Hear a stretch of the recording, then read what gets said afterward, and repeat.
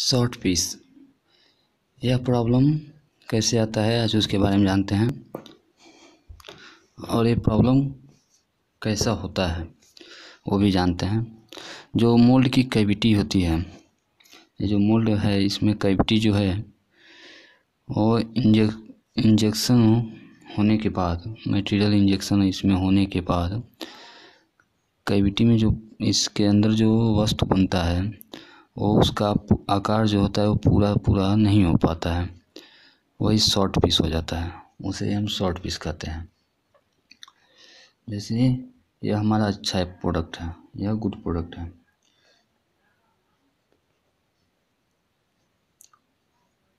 यह good product है। और ये देखो, इधर ये ऐसे कटा पिटा आ जाता है। इतना दूर ये गैप हो जाता है। इतना दूर मटेरियल नहीं पहुँच पाता है। यही होता है शॉर्ट पीस तो ये नॉट गुड होता है। ये नॉट गुड प्रोडक्ट तो शॉर्ट पीस मोल्ड की कैविटी में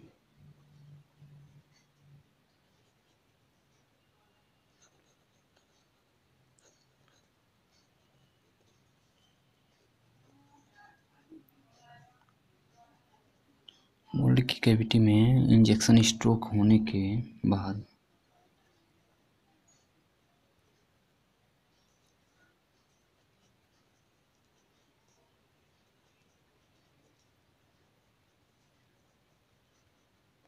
होने के बाद कैविटी में बनने वाला वस्तु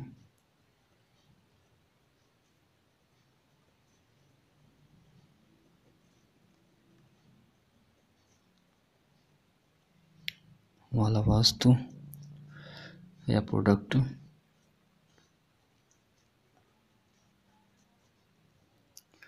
का आकार पूरा नहीं होता है।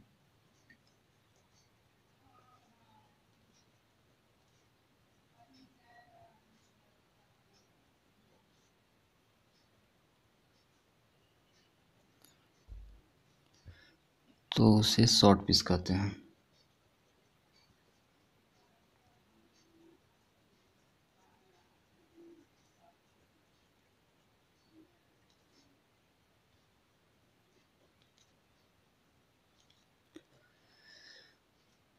शॉर्ट पीस आने के निम्न कारण हैं और इसे कैसे सॉल्व किया जा सकता है उसको भी जानते हैं।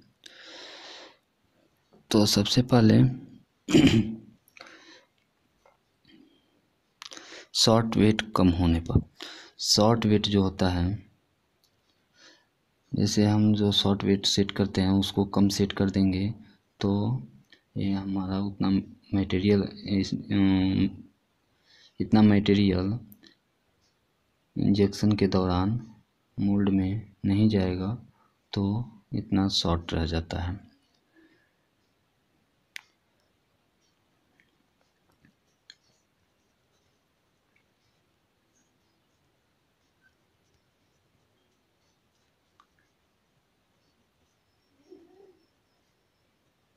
जब शॉर्ट वेट कम होगा। शॉर्ट वेट कम सेट करेंगे तो कम मटेरियल इंजेक्ट होगा मोल्ड में। तो मटेरियल मटेरियल मोल्ड में कम इंजेक्ट होगा तो हमारा पूरा पीस नहीं बन पाएगा, पूरा प्रोडक्ट नहीं बन पाएगा।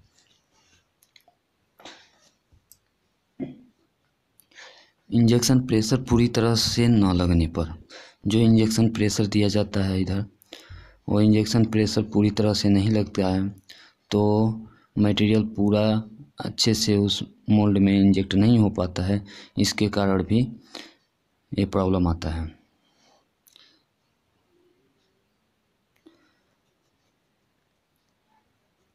इंजेक्शन प्रेशर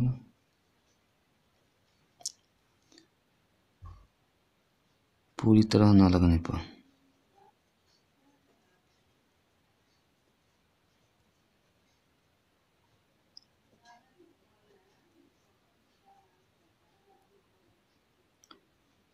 और इंजेक्शन टाइम कम होने पर भी ये प्रॉब्लम आता है।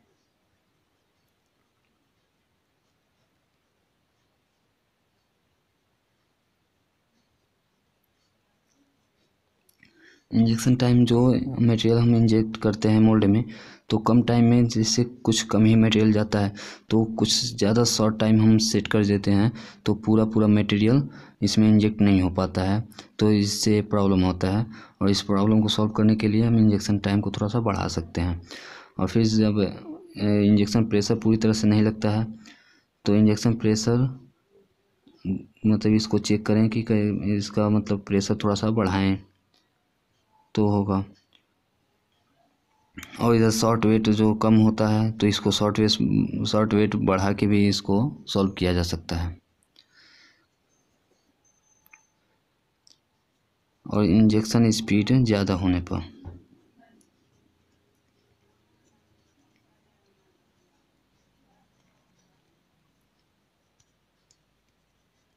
इंजेक्शन स्पीड जब ज़्यादा हो जाता है तो भी ये प्रॉब्लम आता है तो इंजेक्शन स्पीड थोड़ा सा कम करके भी इसे सॉल्व हम कर सकते हैं। और सबसे जो टेम्परेचर होता है, वो टेम्परेचर भी अगर कम हो जाता है या कम कर दिया जाता है तो भी ये प्रॉब्लम आता है।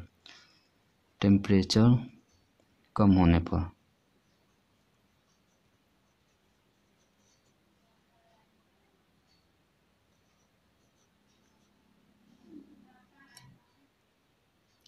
टेम्परेचर कम हो जाता है तो भी ये प्रॉब्लम आता है। दोनों का टेम्परेचर कम हो जाता है तो भी प्रॉब्लम आता है।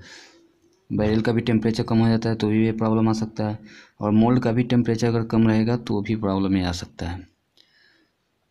या फिर से मोल्ड कंटेक्ट फोर्स जो होता है, वो कम होने पर।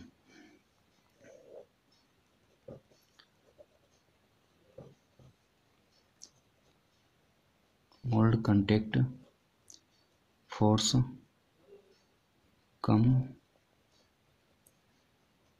मोल्ड कंटेक्ट फोर्स भी कम हो जाता है तो भी ये प्रॉब्लम आता है। स्प्रू बूस और नोजल की सही सेटिंग अगर नहीं होती है तो भी ये प्रॉब्लम आती है। स्प्रू बूस और नोजल की सही सेटिंग न होने पर।